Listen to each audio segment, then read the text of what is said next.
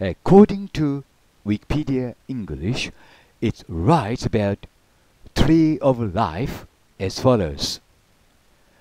The concept of a tree of life is a widespread mytheme or archetype in the world's mythologies related to the concept of sacred tree more generally and hence in religious and philosophical tradition. The expression tree of life was used as a metaphor for the phylogenetic tree of common descent in the evolutionary sense in a famous passage by Charles Darwin. The tree of knowledge connecting to heaven and the underworld, and the tree of life connecting all forms of creation, are both forms of the world tree or cosmic tree according to the Encyclopedia Britannica and are portrayed in various religions and philosophies as the same tree. 生命の木は旧約聖書の創世記2章6節以降に出てくる木のことです。エデンの園の中央に植えられていた木と言われています。命の木とも言われています。生命の木の実を食べると神に等しき永遠の命を得るとされています。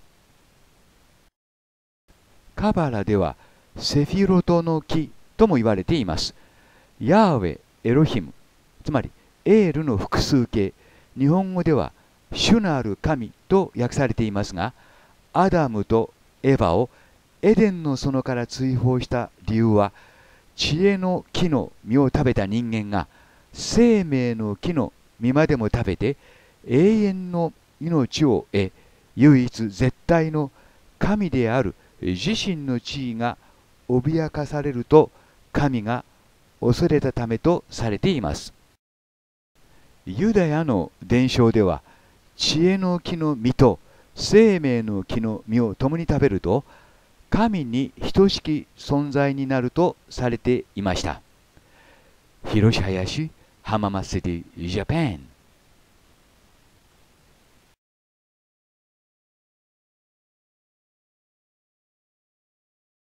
2018年に韓国のピョンチャンで冬季オリンピックが開催されることになっていますそのシンボリックなモニュメントが発表されました。これがそのモニュメントです。題して Tree of Life 公式のモニュメントです。がその Tree of Life は私林博がかねてより持っていたコンセプトとは全く異質のものでした命の木というよりは木の子のような感じがします。古今東西の生命の木と比較してみます。1847年に描かれた絵だそうです。そして17世紀に描かれた絵だそうです。が次の絵がですねウィキペディア百科事典によれば最も一般的な命の木のモチーフだそうです。古来よりエジプトでも命の木は表現されていました。ニムルードに残るレリーフです。ユダヤの命の木です。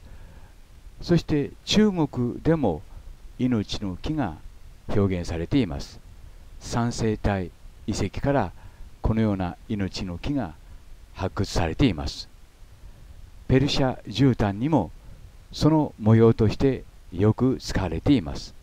そしてスウェーデンでもこのような命の木が表現されていました。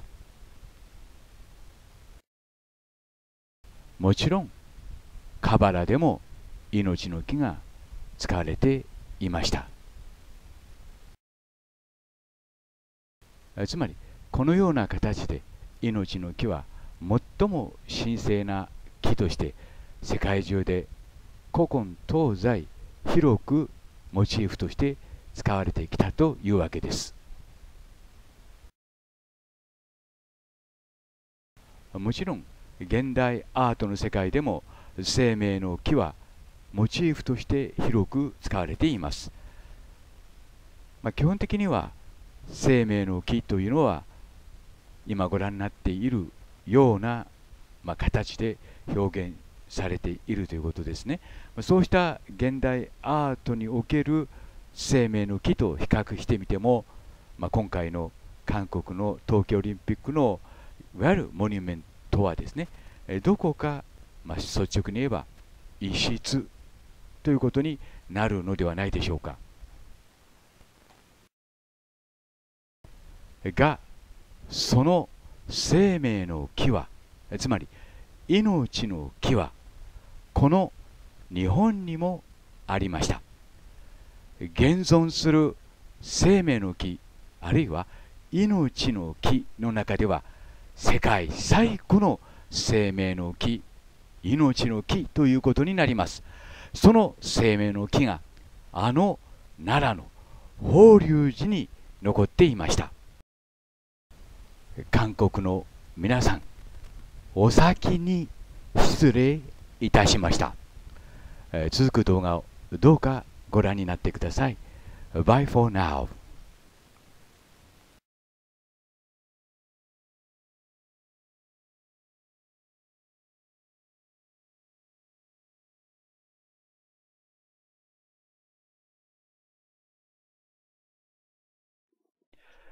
Hiroshi Hayashi will present you a video forum on ancient mysteries and wonders of the world. Today's story is about soaring, or a sort of a decoration, usually you can see at the top of a pagoda here in Japan. You see one of them at the top of a pagoda in Horyuji Temple, Nara, Japan. As to the soaring, I, Hiroshi Hayashi, would like to say that it is the oldest tree of life that exists in the world now. Or you may say, it is the oldest Christmas tree in the world. As to the concept of the tree of life, Wikipedia writes as follows. The concept of a tree of life has been used in biology, religion, philosophy, and mythology. A tree of life is a common motif in various world theologies, mythologies, and philosophies. It alludes to the interconnection of all life on our planet and serves as a metaphor for common descent in the evolutionary sense. The term tree of life may also be used as a synonym for sacred tree. 現存する世界最古のクリスマスツリーは、実は法隆寺にありました。法隆寺の五重塔のてっぺんにある 総輪と呼ばれる飾り物がそれです。が、この日本では、それはスチューパをかたどったものだということになっています。スチューパというのは、もともとブッダがダビに付された際に残された仏舎利を収めた塚を言います。塔場とも言われています。そのスチューパに形が似ているから、そのように考えられています。が、本当にそうでしょうか？今日はその謎に迫ってみますが、聖徳太子が建立した法隆寺に、そもそも当場などあるはずもないのです。その説明もこの動画の中でしますが、法隆寺の五重塔の総輪は、スチューパなるものをかたどったものではなく、バビロニア、メソポタミアにレリーフとして残る生命の木です。生命の木そのものです。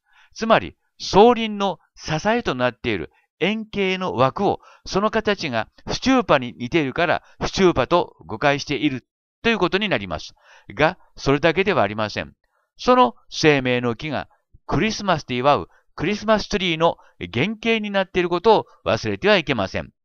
クリスマスツリーです。今ではキリスト降誕祭、つまりクリスマスにはなくてはならない飾り物ということになっていますが、元はといえば、バビロニア、メソポタミアの神々の生命の木でした。それがゾラスター教、ミトラ教へと引き継がれ、それがキリスト教へとつながっているということです。そのこともこの動画の中で説明しますが、それはさておき、そうなると、バビロニア、メソポタミアに残るレリーフを除いて、現存するクリスマスツリーの中で、法隆寺の五重の塔の総輪が世界最古のものであるということになります。わかりますか？世界最古のクリスマスツリーは皆さん、この日本にあるのですよ。それが法隆寺の五重塔のてっぺんを飾っている総輪ということになります。では、画像を見ながら説明します。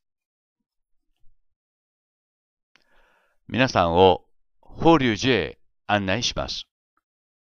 法隆寺です。そして、五重塔です。この五重塔のてっぺんに、総輪と呼ばれる言うなれば、飾り物があります。これがその総輪です。で、法隆寺でも、まあ学校でもですね、この総輪は、スチューパをかたどったものだと説明しています。右が生命の木です。メソポタミアのレリーフに残る、えー、生命の木です。で、総輪の、まあ、検証をしてみます。これが法隆寺五重の塔に残る総輪です。右がメソポタミアのレディーフに残る、まあ、生命の木ですね。この双方をまず簡単に見比べてみてください。えー、枝のようなものがですね、くるんと下側へ曲がり込んでいるところまで同じなんですよ。注意深くご覧ください。ここが今日のポイントということになります。すなわち、左の法隆寺の総輪は、右のメソポタミアの生命の木と大変よく似ているということですね。となりますと、この丸い円形のものは何かですけども、私は支柱と判断しました。いわゆるまあ支えですね。で、その支えを取ってみますと、こういう形になりますが、それはそのままメソポタミアの生命の木と同じになります。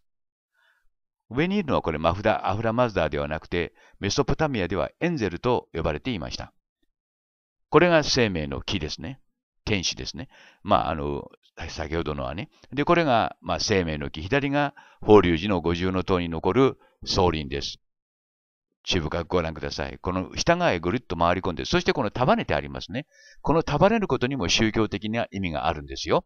いわゆる魂を束ねるという意味からね。まあ、それはいいんですけども、みんなですね、成田さんの、まあ、あります、えー、いわゆる生命の木ということになりますね。もう生命の木と断言していいと思います。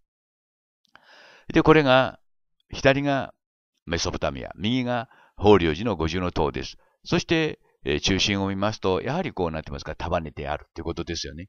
えー、束ねてあり、そして、その、縦棒がですね、縦の棒というか茎って言います。なんて言ったらいいのかな？それがやっぱりこう3本になっているところも同じだということです。左が生命の木です。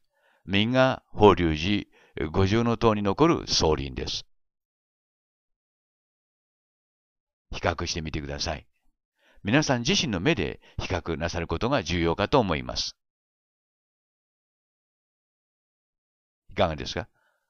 で、同じものがですね、実は高野山にもありました。これは根本大塔の隣の寺にあったものですけどもね、あの、このてっぺんを見ていただきたいと思います。ここにもやはり同じような生命の木が、をかたどった総輪がありました。右が成田山です。まあ、セーランドですよね。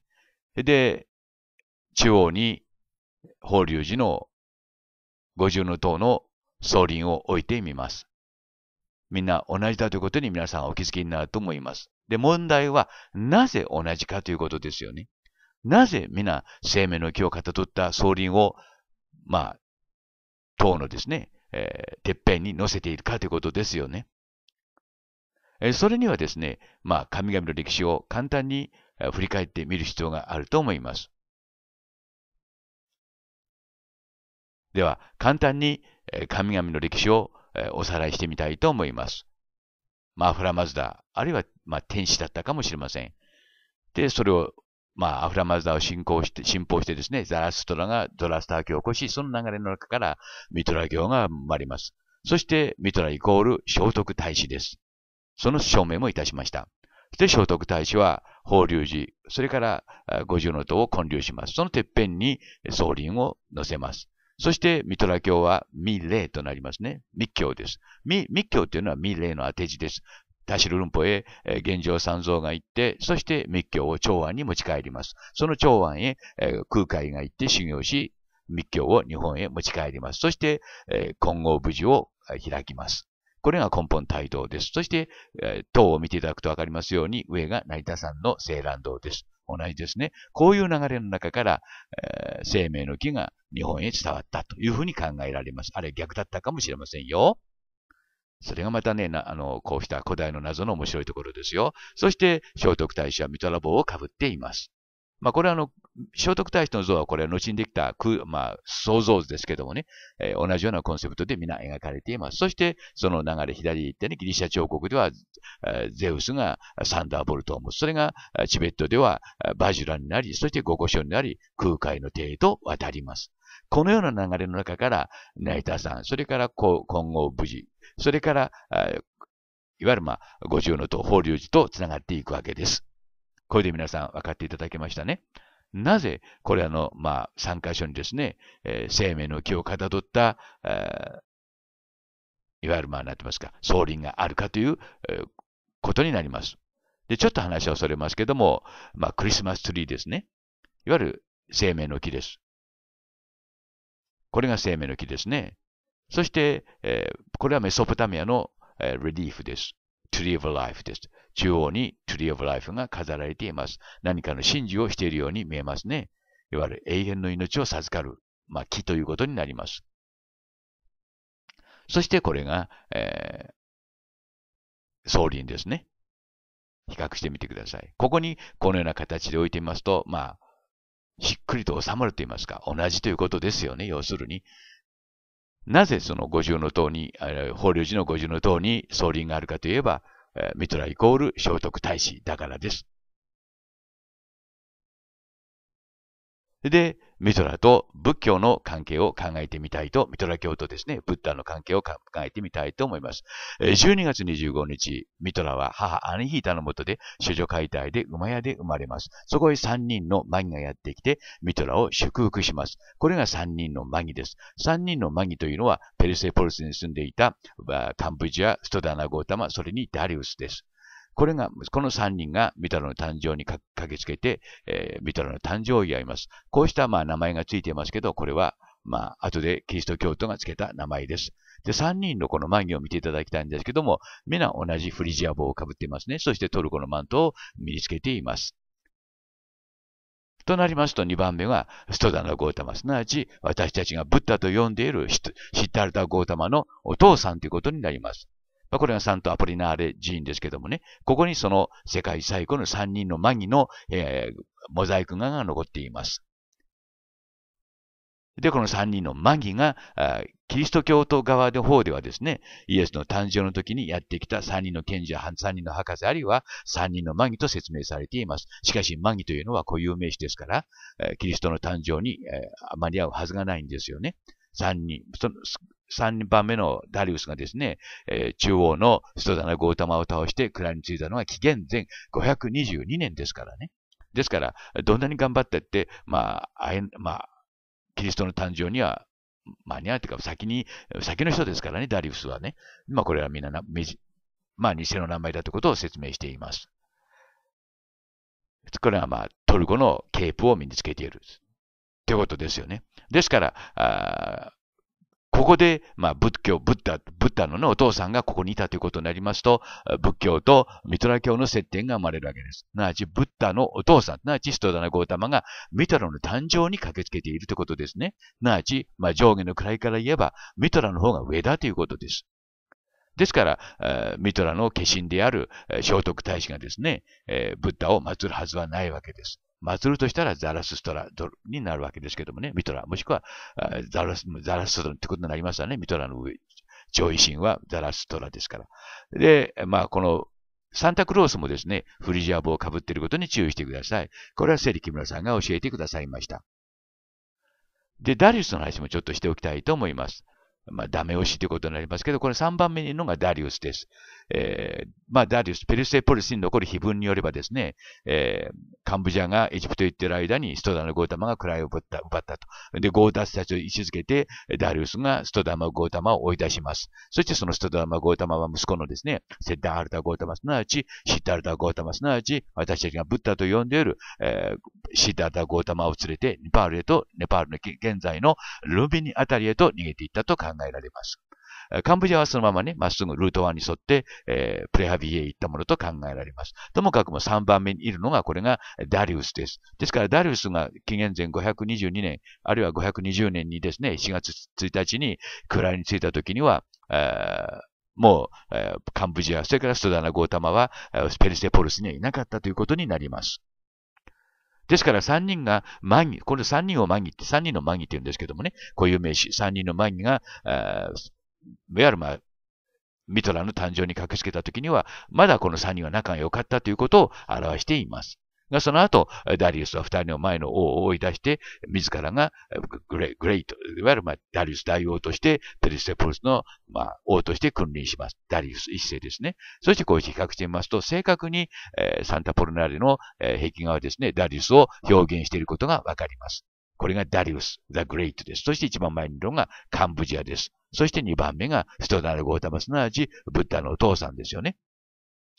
ブッダのお父さんです。そしてこの、この像はですね、ブッダ像、苦行中のブッダになってますけど、私はストダル・ゴータマだと思います。その証拠にですね、台座のところにゾラスター教の信心の模様がこのように彫り込まれています。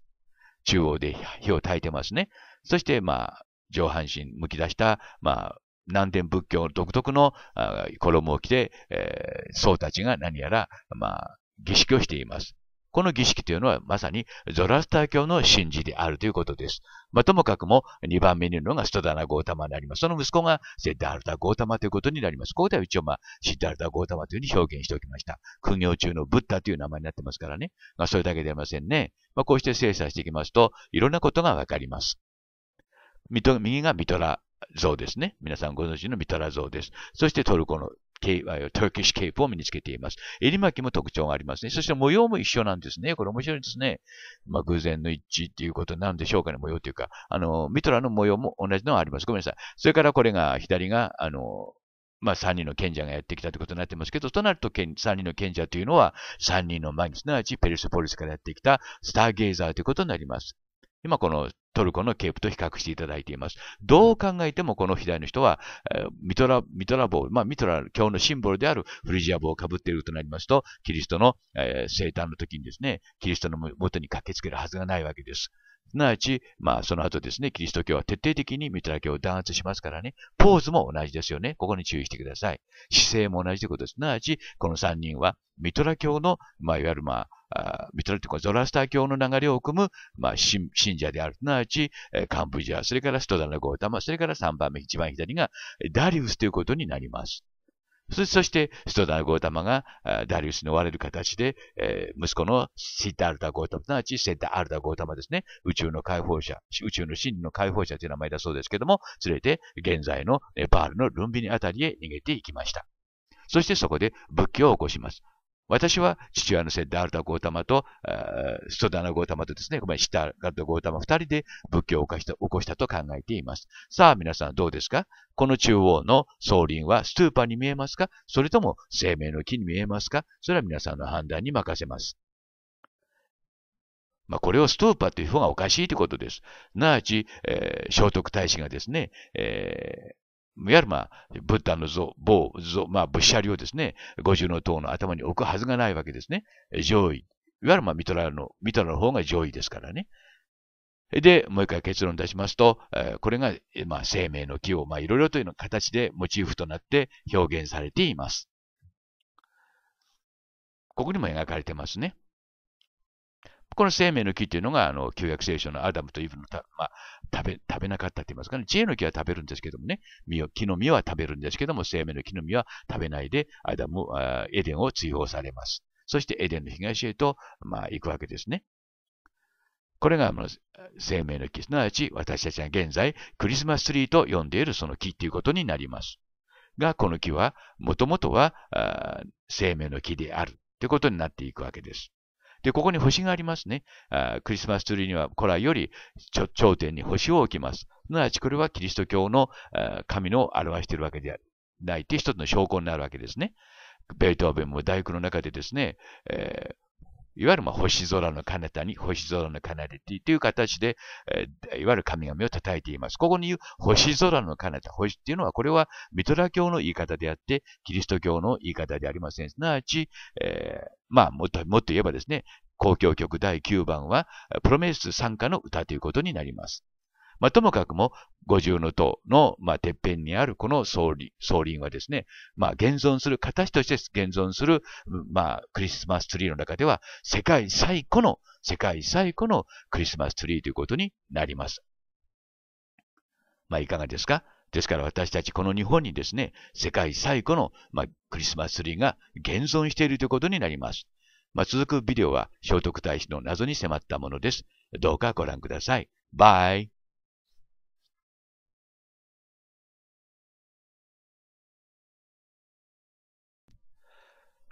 Hello, this is Hiroshi Atago, Japan. Mystery of soaring decoration of the pagoda in Horyuji Temple. 法隆寺五重の塔の総輪の謎。えー、今日、法隆寺へ行ってきました。先ほど帰ってきました。で、総輪の写真が手に入りませんでしたので、法隆寺へ行って写真を撮ってきました。この、まあ、上部にあるのが、これが総輪って言われるものですね。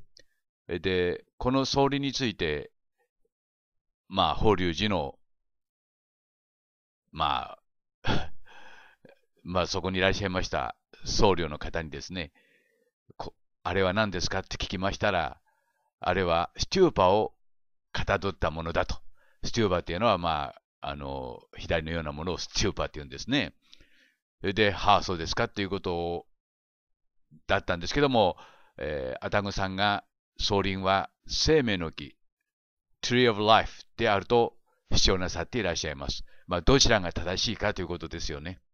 で、比較してみることにしました。と言いますか、えー、写真が手に入りましたので、皆さんに紹介いたします。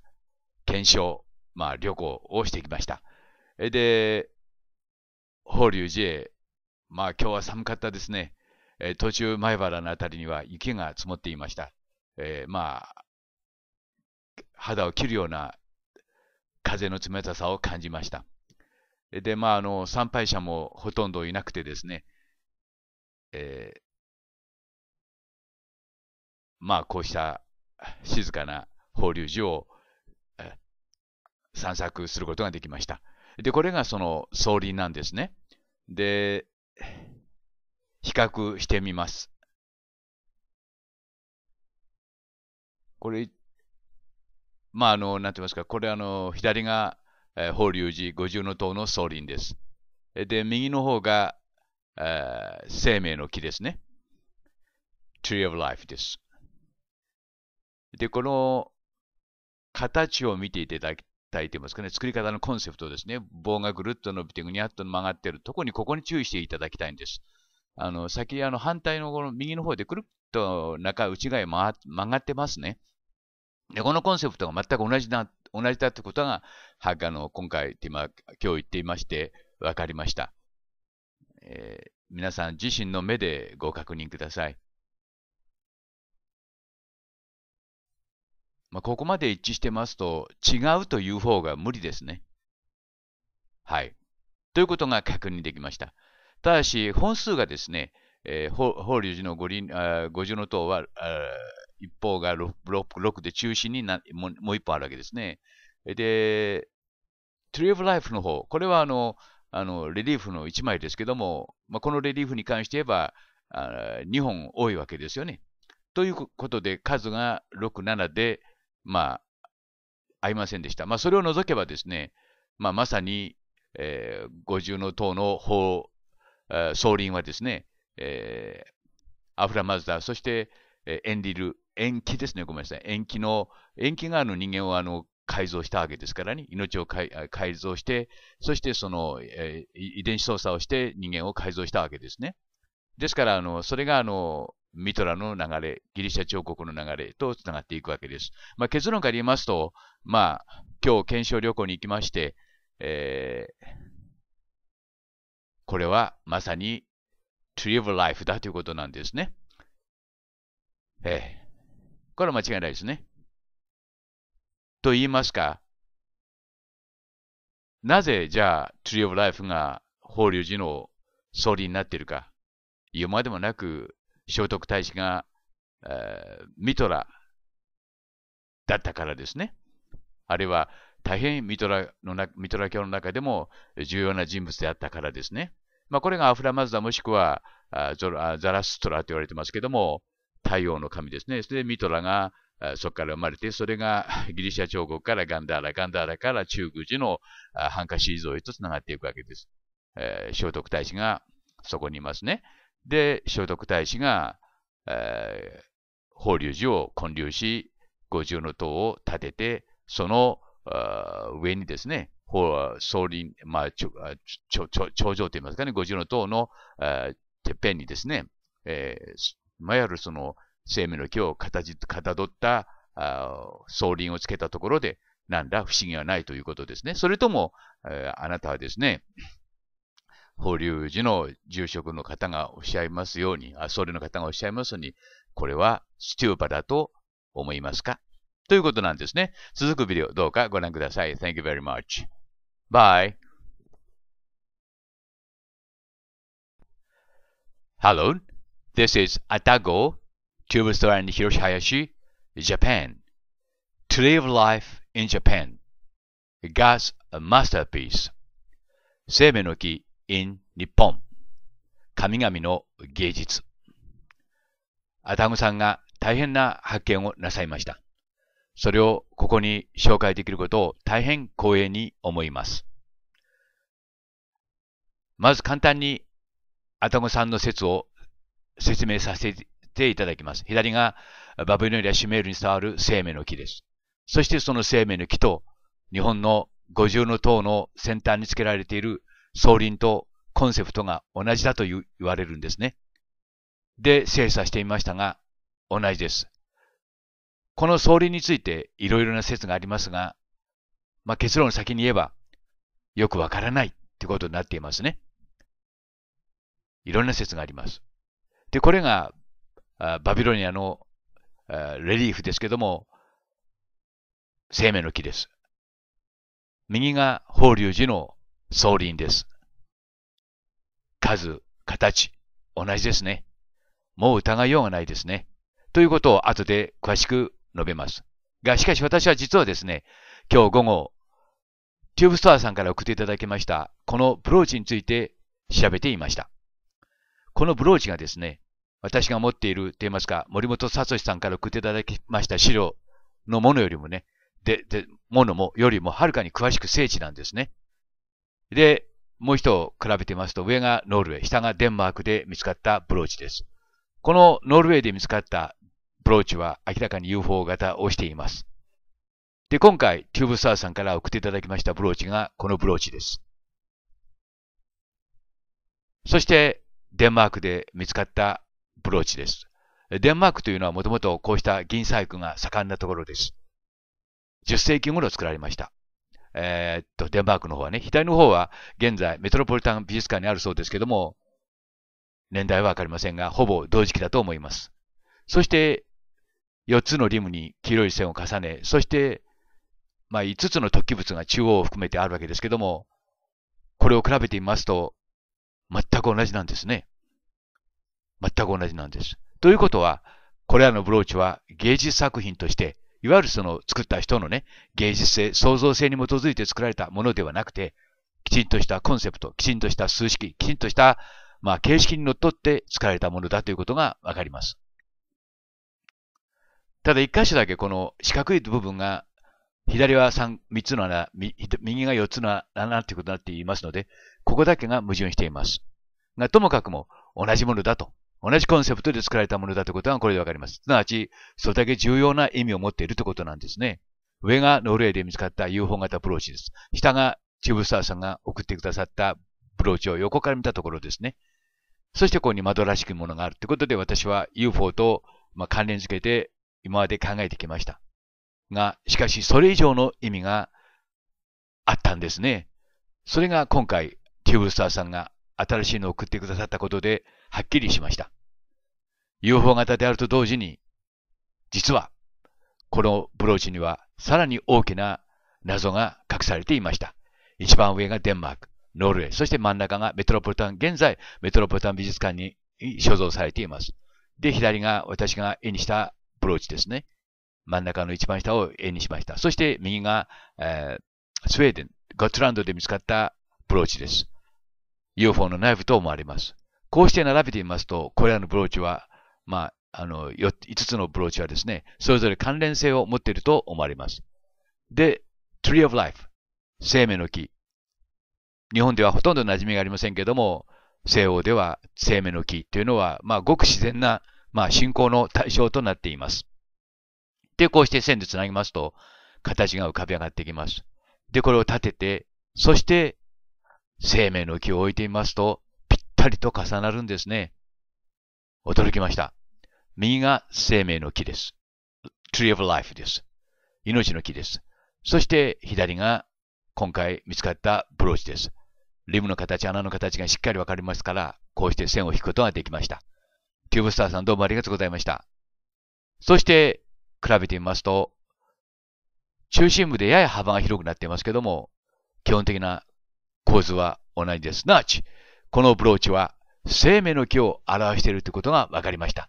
ただ単なる模様ではなかったんですね。ですから、このタイプのブローチはきちんとコンセプトを守りながら作られているということが、になります。生命の木というのは、まさに人間の起源に、まあ、元を置くと言いますか。人間の起源を示す木なんですね。人間が延期によって改造された時からこうした木があったというふうに考えています。これが Tree of Life ですね。で、生命の木そのものが現在に今も、まあ、半ば信仰的な対象として扱われています。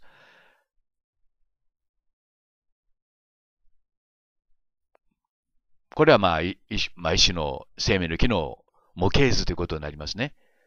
これがバビロニアです。上に、えー、アフラマズダがいますね。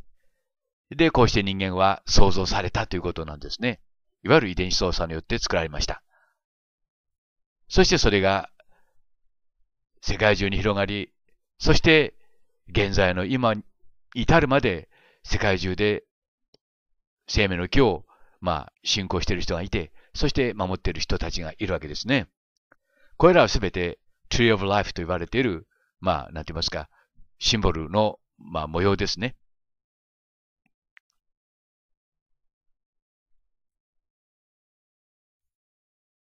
まあ、日本ではほとんど知られていませんけども、あの、しかし、まあ、生命の木で調べますと、ヒットします。ここなんですね。これを見たときに驚きました。アタゴさんがほぼ同時期に情報を送ってくださいました。2015年1月2日のことです。では、アタムさんの新発見を皆さんに紹介いたします。これも日本の考古学をひっくり返すような新発見です。左が生命の木、そして右が総林です。もう一度、アタムさんの情報をお読みください。あ、2015年の間違いです。2014になってますけど、2015の間違いです。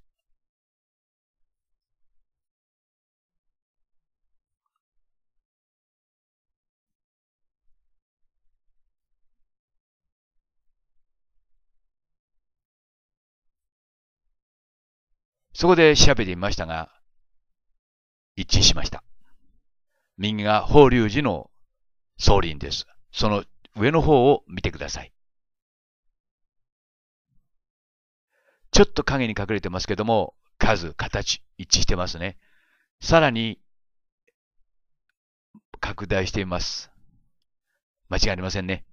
皆さんご自身でご確認ください。そして左が薬師寺の総輪です。これはバビロニアに残っている生命の木、Tree of Life です。ぐにゃぐにゃっと曲がっているところ。そして先のところで花のように分かれているところ。もう間違いありませんね。で、私は同時にバイキングの謎も、バイキングバックルの謎も解けました。なぜこのようなツタの、ツタのようなねくねくねくねくねしたその模様があるかということをずっと疑問に思っていました。右がバイキングバックルです。バイキングバックルは、これは隠れキリシタンのための、いわゆる三位一体の十字架を表すと同時に、なんと生命の木を表していたんですね。さらに、アトムさんはこうおっしゃっております。起源は生命の木で、日本の可能性も出てきました。大賛成です。日本の方が古くて、そして聖地にできているっていうことを皆さん、記憶に留めてください。日本が起源の可能性が大きくなってきました。ということで、568号を送ります。どうかご覧になってください。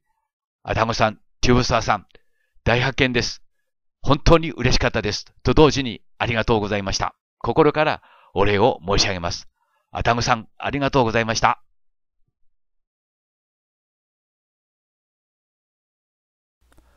Hello, this is Hiroshi Hayashi Hamamasari Japan, November the 30th, 2013. Here in this uh, video, I would like to the answer to the battles of the Vikings. バイキバイキングのバックルの謎解決編このビデオは、えー、全3作に続く全 4, あ 4, 4番目のあのビデオです。皆さんはこれが何だと思いますか？考古学者の先生たちはこれをバックルと教えております。どうしてこれがバックルなんですか？いわゆる留め具だというわけですね。では、その答えを、これは何であるか、その答えをお教えします。その前に、えー、当時ですね、カール大帝は、まあ、10世紀にあのバイキングたちはキリスト教に改宗する前するのですけども、それ以前はですね、えー、キリスト教とカール大帝、まあ、キリストああのバイキングとは戦ってたわけです。バイキングがあの世界に侵略するようになったのは、それが原因だとも言われております。これは日本の隠れキリシタンのあマークです。Secret Christ ですね。で、こう仏像の裏にこう十字を彫り込んだり、ということをしてたわけです。まあ、それくらい命がけであったということを皆さん前もってご存知ください。知っておいてください。もう見つかったら貼り付け処刑殺されますからね。この事情はバイキングにとっても同じだったんです。キリスト教はどんどんどんどん浸あの浸透していったんですね。で、えー、キリスト教徒たちはバイキングの中にあってもですね、隠れて信仰していたわけであります。で、ここでその前に一つ知識ですけども、三位一体、トリニティの意味ですね。トリニティとは何かというと、父、子、そして精霊のまあ、古典のキリストなんですね。それこれがあのトリニティのシンボルマークです。これは現在でも使われております。絵の中に3つの輪が1つになっているということですね。このシンボルマーク、よく覚えておいてくださいね。まあ、これはあの正式の、uh, The Trinity シンボルマークです。三位一体という意味ですね。で、この模様とですね、あの先ほどの見せましたバックルですね。まあ一応バックルとしておきますけども、この模様と似てるんですよね。巧みに隠してあります。それはその通りです。命がけですから。見つかったら殺されるんですからね、皆さん。いいですか？そして、この中に十字というものをいっぱい隠したわけであります。これは日本でも同じようなことをやったわけですね。まあ、ざっと数えても13個ありました。えー、13プラス1が2ありますが、あのダブってるというか、あのちょっと怪しげなのもあります。で、そのこのマークを見てください。逆さまにしますと、まさに三位一体のマークなんですね。3つの丸、そしてそれぞれがつながっていると。これはあの現在三位一体を、まあ、ももあ合わせ持った十字架です。ホーリークロスとですね、三位一体を表している十字架です。まあ、あのただの十字架というよりも三位一体をこう融合させた十字架というのもあるわけですね。これなんかそうですね。三位一体、まさに三位一体をあの一つにした十字架なんです。で、このマークとぐるっと円を描いてますでしょ？で、その間にこの、なんて言いますか、あの、複雑な模様が書き込んであるわけです。で、この複雑な模様の中に三位一体のシンボルマークを探すことは容易なことではありません。言い換えますと、命がけですからね、皆さん。見つかったら殺されるんですよ。ですから、彼らはバックルとして、まあ、隠し持った可能性は高いです。しかし、こうして三位一体、十字架とあのバックルと比べてみますと、まさにバックルと言われているものがですね、三位一体の十字架であることが分かります。上の方には横棒、縦棒もあります。ですから、まあ、今書きましたように、これは生、命に関わる問題ですから、まあ、このクロスのあバックの中に、えクロスを見つけるのは容易なことではありません。がしかし、まあ、これは間違いなく十字架だったんですね。隠れクリスチャンの十字架でした。バイキングのですよ。続くビデオをどうかご覧ください。Thank you very much for watching. Please enjoy number、uh, this following videos. Thank you very much for further information. Bye.